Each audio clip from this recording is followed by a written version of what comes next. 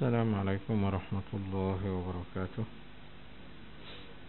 الحمد لله والصلاة على رسول الله وعلى آله وأصحابه ومن نصره ووالاه. سبحانك لا علم لنا إلا ما علمتنا إنك أنت العليم الحكيم. وتب علينا إنك أنت التواب الرحيم. رضينا بالله ربا بالإسلام دينا وبمحمد صلى الله عليه وسلم نبيا ورسولا Alhamdulillah syukur banyak-banyak kepada Allah Ta'ala Kerana pada tengah hari ini kita lagi sekali dapat uh, bersama-sama dalam majlis uh, ta'lim Majlis ilmu yang mudah-mudahan uh, kita dapat memperingatkan satu dua lagi perkara yang uh, sudah benar tentu melibatkan uh, kehidupan kita. Uh, dan uh, berkait pula dengan uh, bekalan dan persiapan kita untuk bertemu dengan Allah Subhanahu Wa Taala kerana kita yakin yang uh, tempoh hayat kita ni sebenarnya sangat singkat. Berbanding dengan kehidupan akhirat yang kekal abadi. Kita sebagai seorang muslim um, ada tugas dan ada, ada tanggungjawab yang um, perlu kita laksanakan. Baik hu, baik ru, ya. Atas sifat kita sebagai uh, hamba Allah Subhanahu Wa Taala. Yang um, ialah dalam surah Az-Zariyat ada disebut bahkan dalam hadis kudusi pun banyak uh, antaranya um, Allah Ta'ala bertanya di sebalik keberadaan kita. Dalam saudara diskusi Allah Ta'ala kata Aku tidak jadikan kamu uh, Untuk Apa namanya Menghilangkan kes, kesunyianku. Tetapi Dikaitkan dengan ayat Daripada surah Zariyat Yang keberadaan kita tak lain kecuali untuk melakukan pengabdian kita kepada Allah Subhanahu wa taala. Wa ma khalaqtul jinna wal ins illa liya'budun. Tidak dijadikan manusia dan tidak dijadikan jin itu kecuali untuk mengabdikan diri kepada Allah Subhanahu wa taala. Ini kita berjalan uh, dalam satu tempoh yang disebut oleh Sayyidina Ali karamallahu wajhah uh, bermula daripada uh, saat kelahiran kita yang dianggap sebagai permulaan. Dan menuju ke saat kesudahan kita. Iaitu um, saat kita dijemput untuk menghadap Allah Subhanahu Taala. Jadi semasa kita berada di dunia ini kata Sayyidina Ali dalam satu pesanannya yang dipetik oleh Al Imam Al Bukhari, nah, dalam kitab Ar-Riqaq takunu min abna'i al-akhirah. Wa la takunu min abna'i ad-dunya. Jadilah kamu anak-anak akhirat. Dan jangan sekali-kali menjadi anak-anak dunia. Ya. Sebab dunia hanyalah sementara. Yang kekal abadi ialah akhirat. Jadi ada sesuatu yang tidak menasabah bila kita bertungkus lumus untuk mendapat sesuatu yang sementara bentuknya dan tidak melakukan apa-apa untuk uh, mendapatkan yang kekal abadi yaitu syurga Allah Subhanahu wa taala.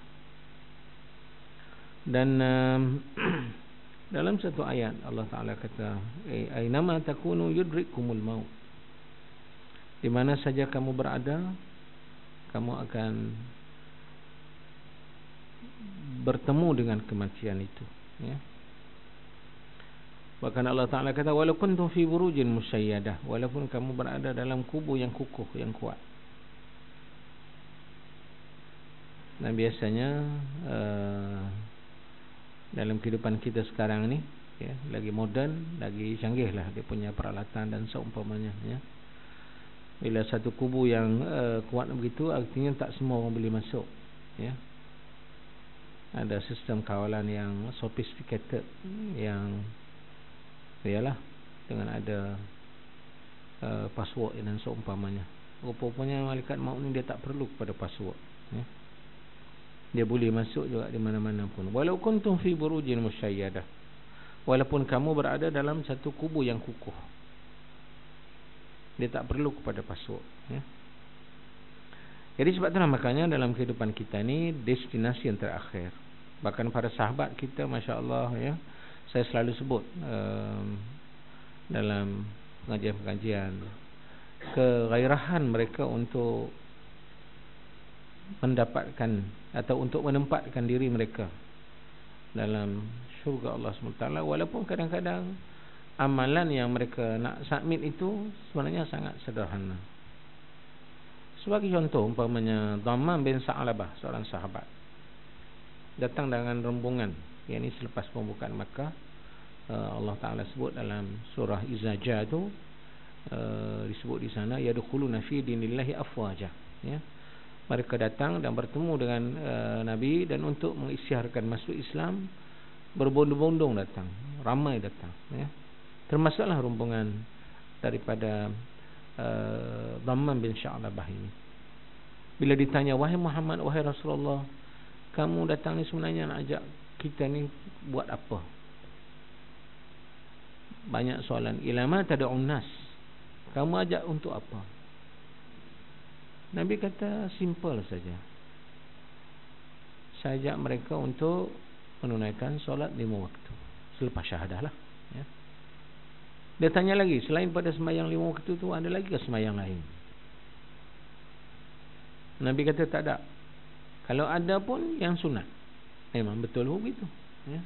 Selepas yang fardu, sunat lah. Sunat kita tahulah bentuknya. Ya. Digalakkan kita buat tapi tak wajib buat. Yang fardu kompulsory kena buat. Jadi tak ada tak ada sembahyang lain. Yang wajib fardu itu je lah yang sunat adalah tapi terserah lah nak buat buat tak nak buat terserah. Lagi kata dia kamu ajak kepada apa?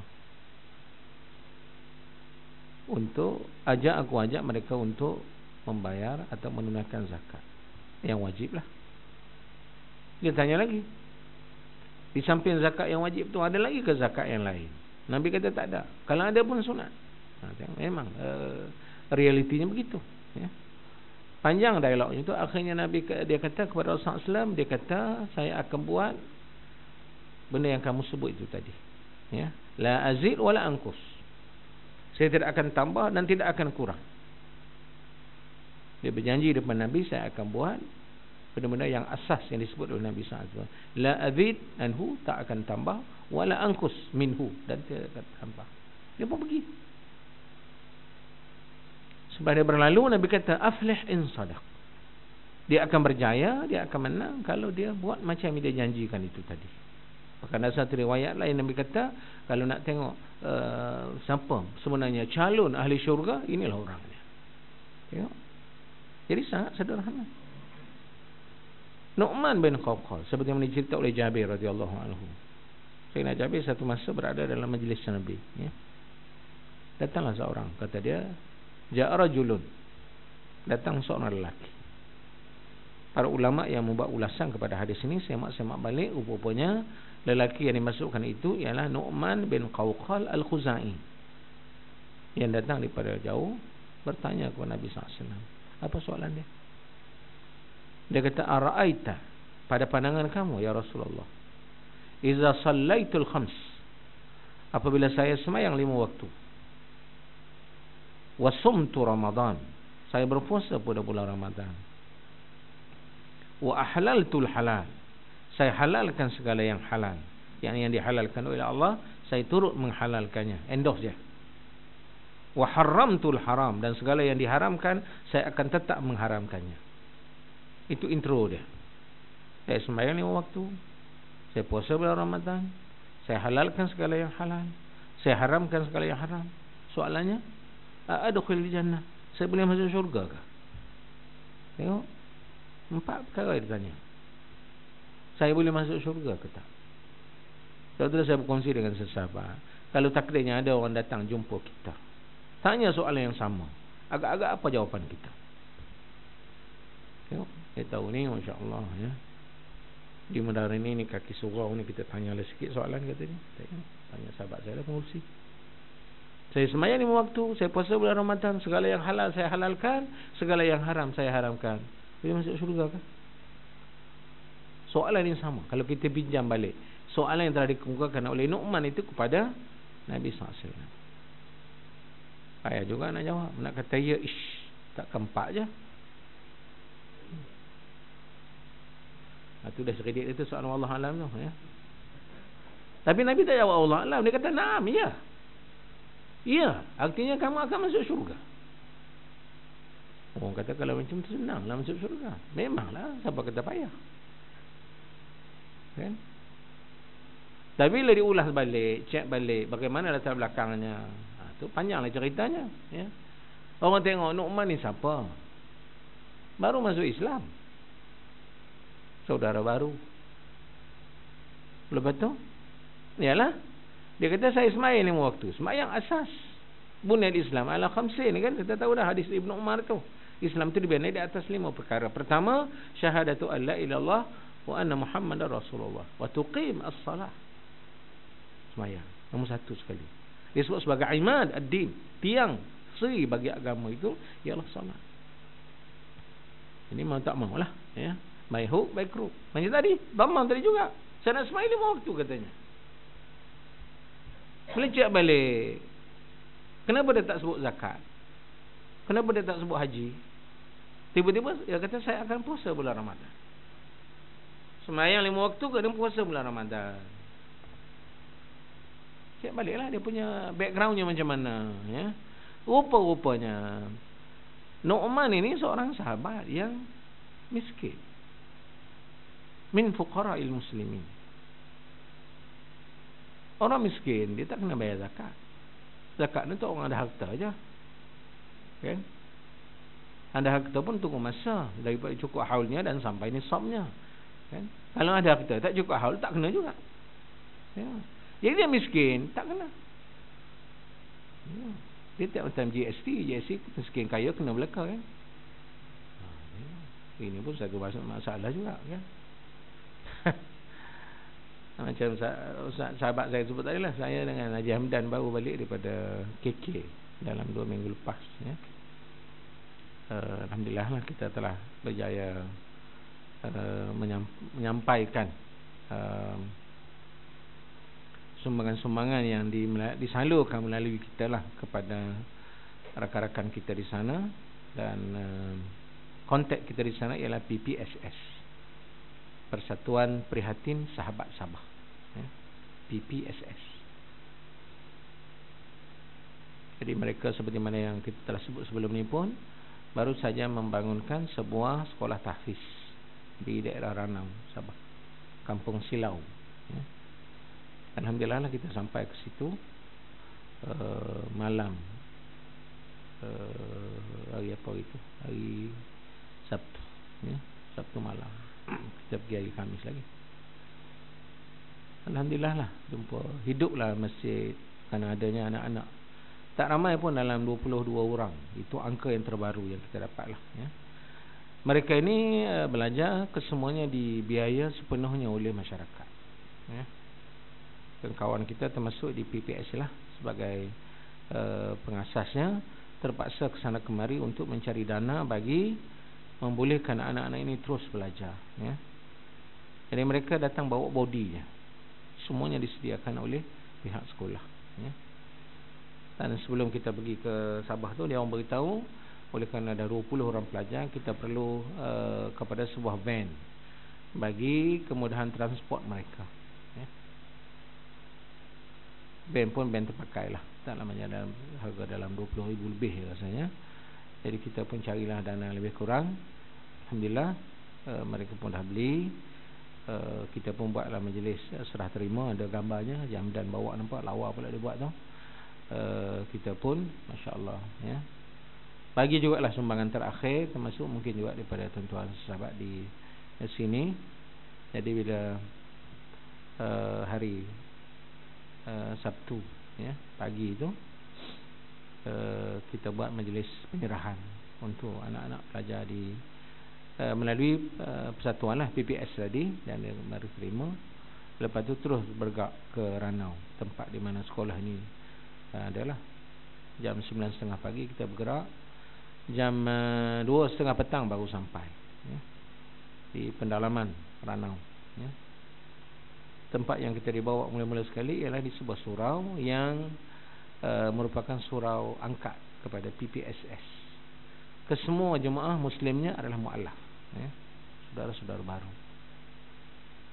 Jadi ikut serta bersama-sama dengan kumpulan ya, rombongan kita itu adik-adik daripada kumpulan nasyid Hijaz ya. Termasuk toke nasi Arab lah Munif dan geng dia berempat. Mereka mengalukan nasyid satu dua lagu kita buka majlis pertanyaan bagilah sedikit uh, taujihat peringatan kepada mereka yang baru-baru masuk Islam ya uh, ada yang baru sangat ada yang dah lama dalam sekitar setahun lebih ya uh, memakmurkan masjid uh, surau yang kita pergi itu ya tu dia pun bukalah majlis untuk uh, diskusi. Dia orang tanya macam-macam soalan lah. Yang terlintas kepada mereka. Ya. Yang sahabat-sahabat sini tak tanya ada soalan macam dia orang mu'alaf. Tahulah. Ya. Tanya apa hukum Ustaz orang semayang dalam keadaan menahan angin. Ya. Nak terkentut. Semayang juga. Kita pun tahan juga. Tapi taklah tanya pasal dah tahu dah hukum dia. Kan. Dia orang tanya soalan tu. Saya pun jawab lah. Masya Allah. Ya ha, lima enam soalan siap kebetulannya yang banyak bertanya yang kawan kita daripada uh, apa namanya Hijaz yang dah kedua kali sampai ke situ dia kata ustaz ini banyak tanya nanti. Ditunjuklah kawan tu ya. Kebetulan siap seorang tu ya. Termasuklah soalan tadi ya yang saya sebutlah sekali itu dia kata orang Islam ni kena bayar GST juga lah kata dia. Kan kita dah bayar zakat. Ya. mualaf tanya main ya. Yang tidak mualaf tak tanya pun ya. Kita dah bayar zakat kata dia. Kena GST lagi ke? Dia kata susah juga nak jawab tu, ya. Yalah tak susah apa. Kebetulan pula baru dalam minggu lepas Jatuh Kuasa Fatwa dah bincang dah keluar isu GST ni ya. Yang baca surat khabar lah. Yang tak baca tak apalah, tak baca saya tolong baca kan. Pengurusi Jatuh Kuasa Fatwa kata kita dah bincang pasal GST dan dia kata harus ya. Inilah yang disiarkan oleh media pun. Harus, harus, harus. Tak sebut pula syarat. Kan? Muzi Azhar kata fatwa kata memang harus tapi ada syarat. Yang bukan harus saja-saja harus, ya. Apa syarat dia? Yang kata yang kata yang pertamanya cukai yang dikutip itu adalah untuk syiar Islam. Satu. Syiar Islam kan dia kutip ni 600 ni. Tak valid dengan syarat tu. Syarat yang kedua tak valid, unvalid. Ya. Yang kedua, kadang yang dikutip tak sama di antara yang kaya dengan yang miskin. Itu syarat dia. Syarat jalan kuasa fatwa. JKF kemansaan. Semua 600. Ya. Yang kaya macam sesahabat kita dekat sini pun samalah juga dengan nun orang di Parlimen Sabah sana. Masya-Allah. Dan nak sampai tu masya-Allah ya. Mula tu okeylah jalan tar dundang-dundang. Sampai satu tempat jalan tak ada tar. Tidak aspal, tak ada aspal orang kata debat ya. Kata kawan kita yang bawa kita tu lah. Tengok yang tak ada tak tu dekat je lah. Nanya macam mana ni Ustaz? Jauh lagi ke? Jauh juga dia kata. Ya. Kalau bahasa orang Sabah, jauh juga tu memang jauh. Dia kata dekat je. Dekat tu dua jam lah tu biasanya. Ya. Dua jam dekat main. Itu ha, bahasa Sabah.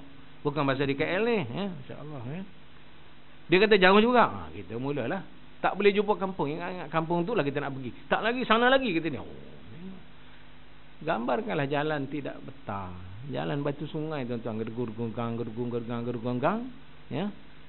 Tak jauh sangat. Ya. 40 km yang tak ada tak ada tak tu. Pegang ke, ke, ke, ke ni. Pemegang dekat dia tu. InsyaAllah. Haji Hamdan gelak dengan saya. Apa yang Ustaz pegang kan? Yalah tak. Kalau tak pegang memang berlanggar lah tuan-tuan. Berlanggar kat dinding. Dia 40 km. Gambarkanlah. Barulah sampai ke soal kita begitu. Saya pun fikir, ish, usap-usap kita para pendakwah di sana. Agak-agak dalam setahun beberapa kali tukar tayar kereta. Kita taklah paling jauh pun masya-Allah ya, jalan okey. Ya, dah minyak tak masuk lagi. Ha, terbaru pula GST pula. Kenalah kena berlaku lah tu. Ya. Jadi saudara saudara baru mualaf ni tanya, kita orang Islam yang dah bayar zakat ni kena bayar GST juga. Oh, saya kata power juga ni. Main. Kebetulan pula kebetulannya Datuk Mufti Wilayah Persekutuan Sahibus Samaha ya. Kata dia kita merayu mencadangkan supaya mereka-mereka yang uh, telah membayar zakat tak dikenakan GST. Tu Dr. Zu punya pandangan lah ya. Inilah satu-satunya mufti rakyat. Ya. Ada 13 14 mufti seorang ni yang beritahu mewakili kita rakyat jelata ni ya. Yang dah bayar zakat tak payahlah kena GST ya. Tapi orang tak layan juga lah seorang mufti je buat macam tu. Orang lain semua setuju belaka, harus belaka. Jadi walaupun tak penuhi syarat itu. Kadar yang dikutip tak sama di antara yang kaya dengan miskin.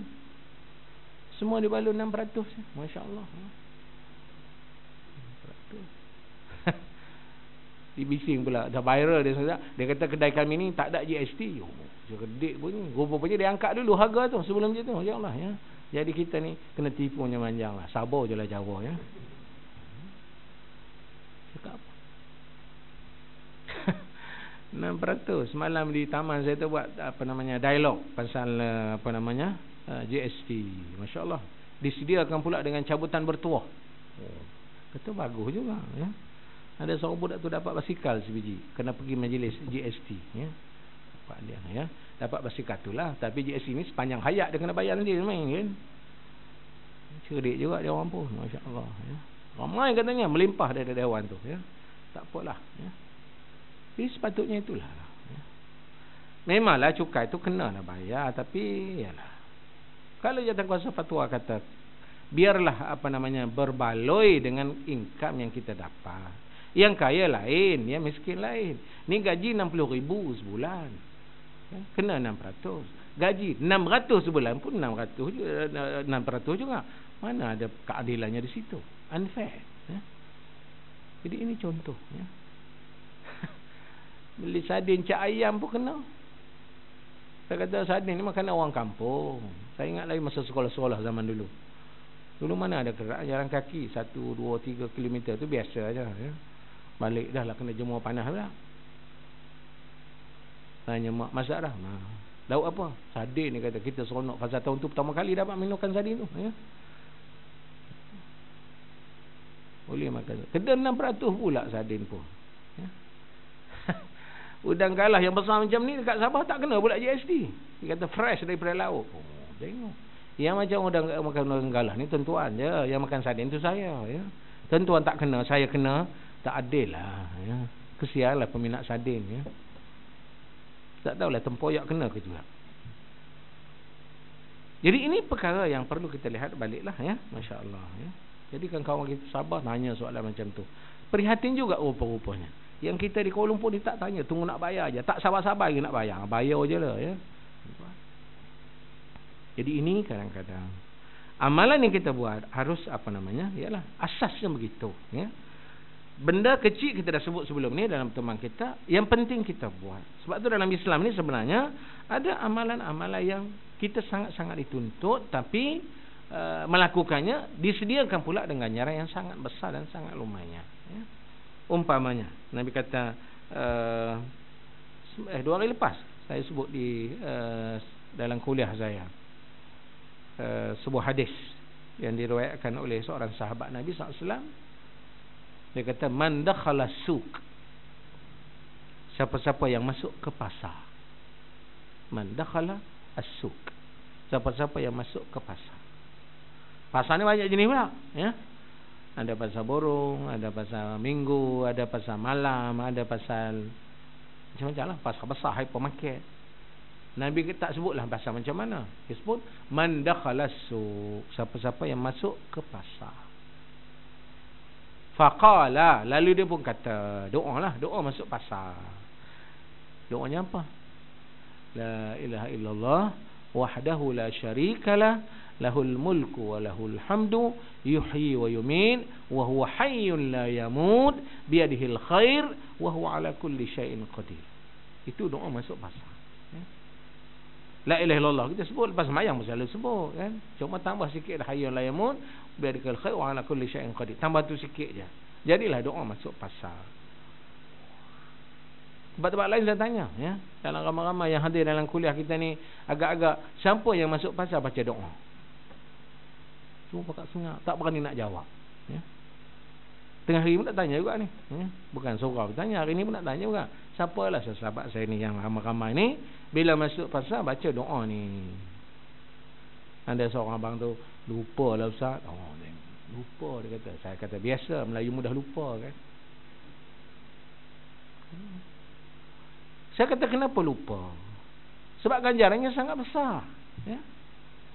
Nabi kata siapa-siapa yang baca tadi la ilaha illallah wahdahu la syarika lahul mulku wa lahul hamdu yuhyi wa yumiit wa huwa hayyun la yamut bi yadihi khair wa huwa ala kulli syai'in qadir Nabi kata apa kataba lahu alfu alfi hasanah Allah Taala akan tulis untuknya seratus ribu kebaikan seratus ribu bukan lima ratus lima ratus tu beri tuan-tuan ya Dapat beri pun dah tak jumpa pintu surau dah. Berapa banyak sangat kan. Ya. Ini seratus ribu. Ya. Kata balahu alfu alfi hasanah Nabi kata. Ditulis untuknya seratus ribu kebaikan. Wa maha anhu alfu alfi sayyah. Dipadamkan, didilit, dihapuskan seratus ribu keburukan. Dah dua ribu dah. Tengok.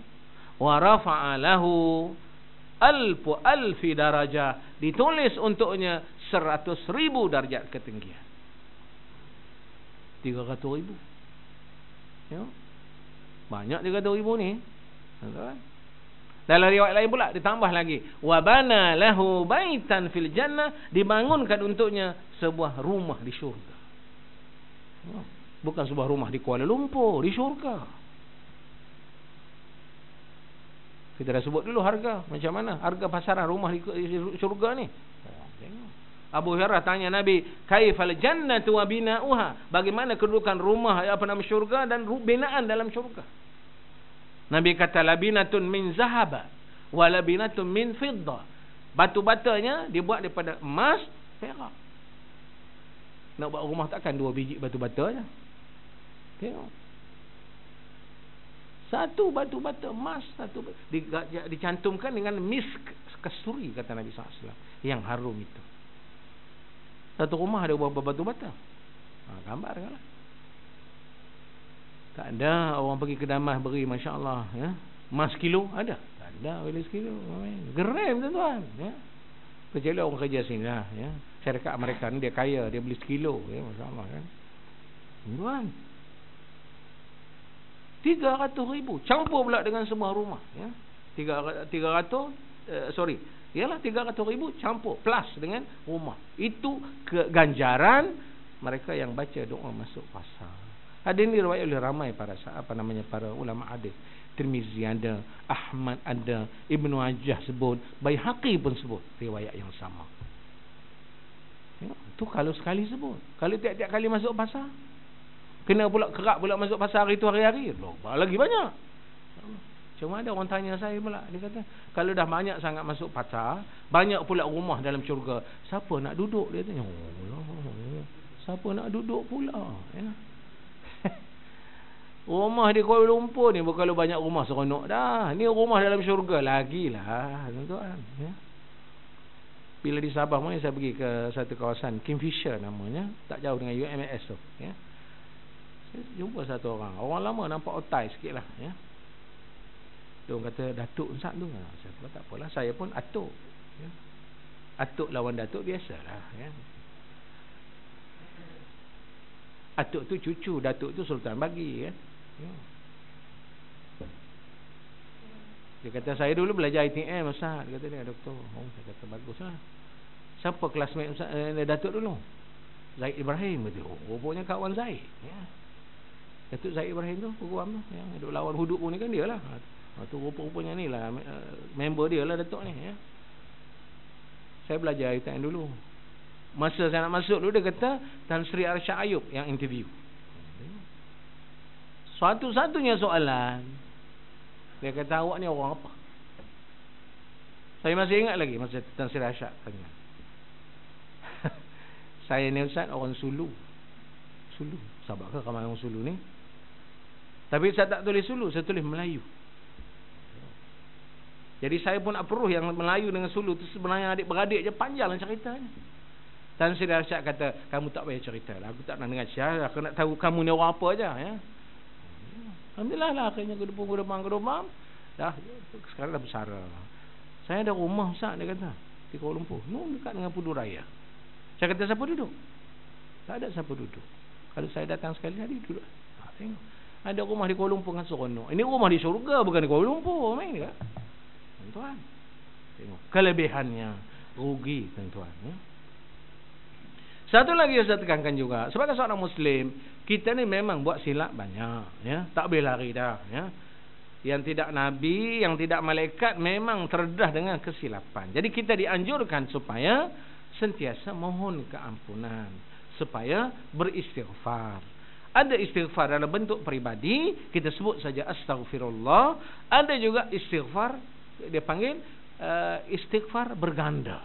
Itu bahasa saya. Macam mana istighfar berganda ni? Kita beristighfar kepada semua orang. Ya. Untuk semua sahabat-sahabat kita yang seakidah dengan kita yang muslim, muslimin ataupun muslimat.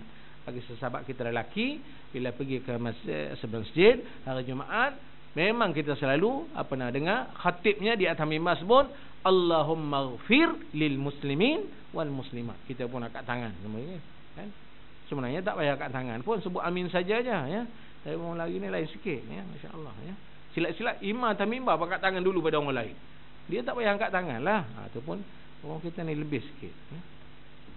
Bila kita sebut Allahumma ighfiril muslimina wal muslimat wal mu'minina wal mu'minat al ahya minhum wal amwat. Itu dia panggil istighfar berganda. Kalau kita minta asba, eh, istighfar peribadi, kita sebut saja astaghfirullahalazim. Kan? Untuk kita lah. Rupa-rupanya dalam Islam ni tuan-tuan saudara, dianjurkan supaya kita juga mohon ampun untuk orang lain sekali. Libatkan saudara se-Islam dengan kita sama sekali sekaligus. Dengan menyebut tak payah pun Allah maghfir lil muslimin wal muslimat. Campur lagi al mu'minin wal mu'minat. Ganjarannya? Apa ganjaran dia? Nabi kata katabalahu likulli muslimin wa muslimatin hasanah. Bagi setiap muslim yang termasuk dalam doa kita itu, kita diberi ganjaran satu kebaikan, satu pahala. Tengok. Nampak rugi ke? Kalau kita tanya balik, muslimin muslimah dalam dunia sana berapa orang? Hmm? Ikut statistik PBB. Orang Islam dalam dunia ini berapa orang? Tak ingat kan belajar geografi zaman dulu Ada orang kata bilangan Muslim dalam dunia 1.4 bilion. Ya? 1.4 bilion. Kita berdoa lah. Allah maghfir muslimin wal muslimat. Allah Ta'ala tulis untuk kita 1.4 bilion pahala. Sekali sebut. Tak rugi kah? Doa masuk pasar tadi dah rugi dah banyak dah. Ya? Tak pernah doa lagi baru nak start hari ni baru ya. Tak apalah, masih belum terlewat ya. Ini pula masya-Allah disebut semua muslimin akan ditulis serat satu pahala. 1.4 bilion manusia muslim dalam dunia ini. Tu yang hidup saja. Tambah pula dalam doa kita tadi siapa kata al ahya minhum wal amwat. Sama ada yang masih hidup ataupun yang sudah mati. Campur yang masih yang dah mati. Lagi ramai tuan-tuan. Kenapa kita ni loket sangat nak berkira? Kan? Kenapa payah sangat nak istighfar untuk orang lain sedangkan kelebihannya sangat besar. Tengok. Tak ada apa tu. InsyaAllah duduk dalam depan laptop kita buat kerja pun. Allah berkira sendiri. Tengok. Masuk. Ui tuan-tuan. Ya? Berduyun-duyun pahala masuk. Kenapa tak nak? Dan inilah dia. Masya Allah. Ya? Pandang doa macam mana? Oh, tengok. Keluar pula cerita doa macam mana pula. Ya? Allah Taala kata doa tu alladzina yazkuruna Allah qiyama. Orang yang berdoa dalam keadaan uh, orang yang berzikir kepada Allah dalam keadaan berdiri. Wa qu'uda dalam keadaan duduk. Wa ala junubihim dalam keadaan berbaring. Tiga bentuk boleh buat. Duduk pun boleh berdiri pun boleh baring pun boleh. Dengan bentuk-bentuknya masing-masing. Kalau doa masuk pasar kena duduk kah saya tanya tu masuk pasar bentang tikar dulu tu tiaplah nak doa dulu mana boleh orang ni dah demam ke apa ni kan tak ada sambil-sambil berjalan masuk tu bacalah doa. Tengok masya-Allah kan. Ataupun doa dah sambil duduk. Saudaralah kita nak balik ke, nak datang ke pejabat ke, nak balik daripada jabat, duduk atas kenderaan kita. Doa naik kenderaan kan. Subhanallazi sakharana hadza wa ma kunna lahu muqrinin wa ila rabbina lamunqalibun. Bacalah doa sambil-sambil start enjin. Duduk. Kan? Ni ada pula orang pelik. Dia duduk habis berlonggok-longgok atas bumbung kereta tu. Berdoa dulu macam tu. Ini pun putus wayar juga ni. Ya? Tak ada orang buat macam tu. Duduk sambil duduk biasa je lah. Ya? Tengok. Wa ala junubihim. Sambil-sambil baring. Pun boleh juga. Doa baring doa apa? Doa tidur. Oh. Kan? Tidur banyak juga doa. Masya Allah. Paling malas yang kata Masya Allah. Tulis benar doa saja. Bismikallahumma ahya wa amun. Dengan nama Ya Allah, aku hidup. Dengan nama kamu juga, aku akan mati. Tidur. Tu doa tidur. Kan? Kalau dah tidur Nabi kata siapa-siapa yang tidur? Sebelum tu dia baca apa namanya tiga kul baca kul Allah dulu. Lepas tu kul a'udzu birabbil falaq. Kemudian kul a'udzu birabbin nas hembus dalam tangan. Fu fu macam tu sapu segala kepala dan seluruh badan tiga kali. Cuma kau tak sempat lah lena dulu masalahnya kan? Allah Taala akan jaga dia masa tu. masya-Allah ataupun baca ayat kursi. Dia panjang sikit ayat kursi Allahu la ilaha illa huwal hayyul qayyum la ta'khudhu sinatun wala naum. Allah Taala tu tiada Tuhan melainkan dia saja apa namanya? La ta'khudhu sinatun tak pernah mengantuk wala naum dan tak pernah tidur. Kita pun sampai naum terus lena. Itu masalahnya. Kan? Tak habis ayat kursi. Sabar jelah ya. Kelebihan. Tidur boleh, duduk boleh, berdiri boleh. Menari tak ada. Ha? Tak sebut pula ayat tu menari ya. Orang yang zikir menari tak ada yang bising kat luar. Ya Allah ya. Saya kata sambil duduk pun tak berzikir menari pula. Oh masya-Allah sampai oh ya. Lose control zikir. Zikir ni nak dengarkan Allah Taala, nak dekat kita dengan Allah. Tiba-tiba macam apa namanya? Macam apa? Tari gelek tu berzikir apa macam ni. Tuan-tuan. Ada orang tanya saya, boleh kata Ustaz zikir menari? Saya kata yang cukup dengan duduk je lah. Ya. Yang menari tu bagi orang lain lah. Yang menari pula, oh tahu ada nyanyian lain pula. Dengan danduk pun ada, dengan inang pun ada, dengan zapin pun ada, dengan rock pun ada. Ini irama apa pula macam ni? Dari mana-mana datang? Oh dia kata keturunan Nabi bawa. Oh, keturunan Nabi ke? Saya kata keturunan Nabi itu baguslah. Tapi tak semestinya betul. Kan? Semua yang keluarga Nabi betul belakang? kan? Tapi orang ikut Nabi confirm betul insya-Allah. Kan? Keluarga dia belum tentu. Ha, tengok itu contoh dia ya. Lagi apa lagi yang kita boleh buat? Masya-Allah tuan-tuan. Nah, ini satu lagi ya. Hadis daripada uh, seorang sahabat, siapa sahabatnya ni? Abi Musa al-Asy'ari. Nabi kata apa? Idza mata waladul 'abd bila uh, anak seorang hamba anak kita lah tu ya dijemput oleh Allah Ta'ala ke pangkuannya. Dalam bahasa lain matilah. Ya. bila anak-anak anak seseorang hamba ni mati habis nyawa maksudnya. Lalu Allah Ta'ala pun berfir, ber, ber, ber, berfirman kepada malaikat. Dia kata wahai malaikat qabaratum waladu abdi. Kamu telah ambil nyawa hamba anak anak hamba aku ke? Malaikat jawab ya ya Allah betul qabadatum samaratu fuadi. Kamu ambil nyawa jantung hatinya ke? Malaikat kata ya. Fayaqul malaikat Allah Taala lagi madza qala abdi? Bila anak dia meninggal apa kata hamba-ku itu tadi? Lalu malaikat jawab hamidaka wasarja'aka dia bermuji kamu ya Allah dan dia beristirja kepadamu. Istirja itu menyebut inna lillahi wa inna ilaihi raji'un. Kan bahaya sangat. Ya. Lalu Allah Taala kata kepada malaikat bila dia tahu hamba dia ni bila anak dia mati dia beristirja kepada Allah dengan menyebut inna lillahi inna rajiun dia pun jawab ubnu libni eh, li abdi baitan fil jannah benalah untuk hamba ku itu ni uh, hamba ku itu sebuah rumah di syurga ya wasammuhu baitul hamd dan dinamakan rumah itu sebagai rumah ujian tengok Maksudnya apa di sini saudara-saudara? Memuji Allah beristirja bila kita berhadapan dengan musibah. Ya. Musibah ni tak boleh nak elak lah. Kadang-kadang kecil, kadang-kadang besar. Kita berhadapan dengan musibah. Jadi, Alladzina iza asabathum musibatun. Apabila kita ditimpa musibah, maka sebutlah. Inna lillah wa inna ilaihi raji'un. Ya. Kita ni salah faham. Bila sebut inna lillah, dia ingat mati je. Itu masalahnya. Ustaz, anak kawan kita tu masuk hospital. Saya pun sebut innalillah. Tak, hidup lagi dia kata tak mau. Tengok. Saya kata innalillah ni bukan untuk mati saja, untuk orang yang berhadapan dengan musibah. Nak nyatakan kita ni datang daripada Allah, insya-Allah kepada Allah juga kita akan pergi. Ingatkan dengan innalillah wa inna ilaihi raji'un. Tapi kerana tadilah, kerana tidak dibiasakan dengan macam-macam tu, kita juga keliru ya. Satu lagi hadis Ummu Habibah. Ummu Habibah kata man salla fi yaumin wa lailatin sinta asyara raka'atan. Siapa-siapa yang semayang sunat dalam satu hari satu malam 12 rakaat. Semayang sunat ratib tu 12 rakaat ya. Banallahu lahu baitun fil jannah. Allah Taala akan bangunkan juga untuknya rumah di syurga. Banyak rumah syurga ya. Saya jumpa seorang kawan saya pesara di UKM pensyarah undang-undang perlembagaan. Dia kata, saya sebut ni lah.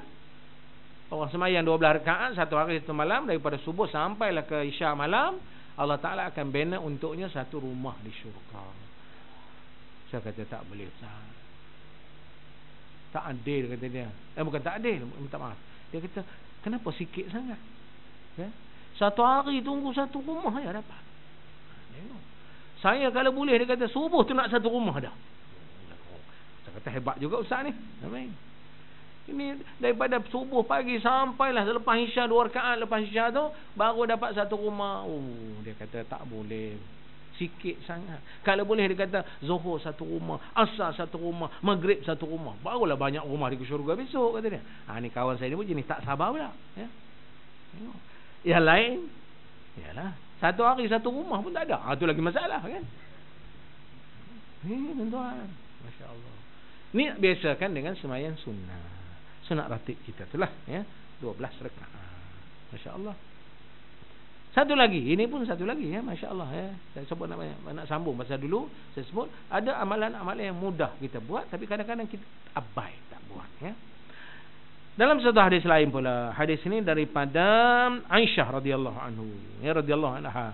Nabi kata man man sadda furjatun banallahu lahu baitan fil jannati wa rafa'ahu biha daraja. Siapa-siapa yang mengisi tempat kosong dalam saf. Ini kadang-kadang tak kena dengan angin kita sikit ni. Ya. Kita kalau boleh dalam saf tu lega kita sorang-sorang sedepa seorang Nabi kata man sadda furjah. Siapa yang rapat dan isi tempat kosong tu bagi penuh. Ya. Sebab tabiat saf ni dia kena rapat.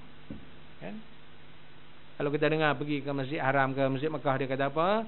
Istaqimu saddal furat kata dia. Saddal khalal kadang-kadang ya. Penuhkan tempat kosong rapatkan saf. Tengok. Nabi kata siapa-siapa yang penuhkan tempat kosong dalam saf itu banallahu lahu baitan fil jannah Allah taala bina juga untuknya sebuah rumah di syurga wa rafa'ahu biha darajah dan Allah taala angkat derajatnya tengok ini ilmu kadang-kadang Orang Melayu kadang-kadang dulu dia marah dengan saya. Masya Allah ada satu orang dah mati pun dia. Ya. Saya selalu doa kepadanya. Allah maghfir lahu. Sebab saya kata. Kalau orang Melayu ni dia tak boleh ni. Semayang ni pun Masya Allah. Ya. Tak selesa. Rimah dia kata untuk dapat dekat-dekat. Oh, tengok kalau boleh sedepa seorang dia. Ya. Apa kalau nak tawaf saya kata. Tawaf lagi lah. Betul Kena pula orang lain langgar kita. Dah lah batal buduk kita. Dah. Jadi saya kata orang Melayu, lagilah kena balik semua orang lain barulah tinggal puak-puak Melayu tawaf. Barulah selesa masa tu. Oh, Ustaz tu berkata, Dr. Fauzi ni dah hina Imam Syafi'i kata dia. Ha, demam pula orang ni ya. Dia dah mati dah orang tu. Saya tak nak sebut nama lah ya. Bukan hina apa. Masya Allah ada. Semalam saya interview imam untuk masjid saya. Saya jumpa satu kes masa saya pergi haji tahun 2008 dulu. Satu orang tu pertama kali. Pesara tentera. Ya. Duduk sembang-sembang dengan saya masa di Mina. Dia kata apa, apa masalahnya? Dia sebut dengan saya. Dia kata saya bila datang masuk tawaf umrah apa namanya? Tawaf tu sekali dengan isteri saya. Ya. Masuk pusingan ketiga, wuduk saya batal kan? Tawaf ni kena wudu. Sa'i tak apa tak ada wudu. Jadi bila apa namanya wudu saya batal jadi mau tak mau saya kena keluar lah ambil wudu baru barulah masuk balik. Jadi saya kata ish kalau saya keluar isteri saya nak tawaf dengan siapa? Oh tengok. Dia bimbang kok hilang isteri dia? Eh siapa tak sayang bini oi eh? Akhirnya dia ikut juga sekali. Sampailah tujuh keliling tu dalam keadaan empat lagi dia tak ada wudu. Tuan-tuan bila habis apa nama tawaf, lepas tawaf sa'i. Dia pergi ta'i sekali. Sa'i tak boleh tak ada wudu. Eh? Saya tanya budak tadi. Budak yang ni Tok Imam nak interview ni. Agak-agak jadi ke tawaf dia? Eh, sah ke tak? Oh dia kata tak sah Ustaz. Oh, saya kata betul itu. Ini macam mana dah? Dah tak apa namanya dah tawaf tiga tiga keliling wuduk batal sambung lagi empat empat keliling dalam keadaan tak ada wuduk. Dia pun balik sambung ya masya-Allah ya. Saya pakailah kutukar habis sekali kat iramnya berapa hari lepas tu dia sedar? Tiga hari lepas tu dia baru sedar. Apa jadi? Ha, banyak lah tu kena bayar compound tu main. Bukan dengan DBL DBKL saja masya-Allah dah. Lepas tu saya tanya juga kalau tu imam tu apa namanya batal dalam semayang. Elok-elok tengah sujud, dia batal wuduk dia. Katalah terketut ke? Ha, macam mana nak buat? Ha, ni, kamu nak jadi tu imam ni? Kok-kok kes macam ni berlaku nanti, macam mana kamu nak buat? Ha. Tak ya, tolong jawab. Interview tu imam tu. Ya, saya jadi panel semalam. Oh, dia kata, eh, kita kena bangunlah. Ya. Kena bangun tu semua sekali Saya ingat Masya Allah Ingat kau merangkak macam tu je ya. Saya kata kita kena bangun Lepas tu kita sambung balik Gantilah tempat tu Imam tadi tu. Dah lari Kita ambil tempat dia ya. Jadi macam mana nak ambil tempat tu Imam tadi? Kena bangun dulu Ustaz Kata dia ya. Saya ingat nak merangkak terus dia Naik tempat tu Imam tu. Tak Kena bangun dulu Lepas tu kita ambil Take over tempat tu. Ha, Saya kata betul. Awak nak jadi tu Imam ni? Kalau yang ni tak boleh settle. Oh Masya Allah Jadi pelik-pelik jugalah. Ada seorang tu engineer semalam uh, mohon salah seorang saya kata kerja apa? Engineer. Bacalah in engineering dia kata. Untuk apa? Nak minta Bilal kat masjid ni. Saya kata ish saya rasa kamu ni calon yang sangat istimewa dengan masjid kita ni. Seorang engineer minta nak jadi Bilal ni kira power saya kata. Tak rugi ke? Saya tanya dia. Tak. Saya rasa tak rasa apa-apa. Saya kata saya lebih selesa kata dia dan dapat restu ke? Mak saya mesti restu, bapak saya berestu. Engineer nak jadi tok bila ni power tuan-tuan main ya. Rupa-rupa di masjid saya ada orang macam tu. Tak apalah dia kata. Saya dapat insya-Allah. Walaupun saya jadi engineer, tak larat dia kata ulang alik kelang sana sini masya-Allah kerja macam-macam kilang sana kilang sini. Oh, macam tu lah.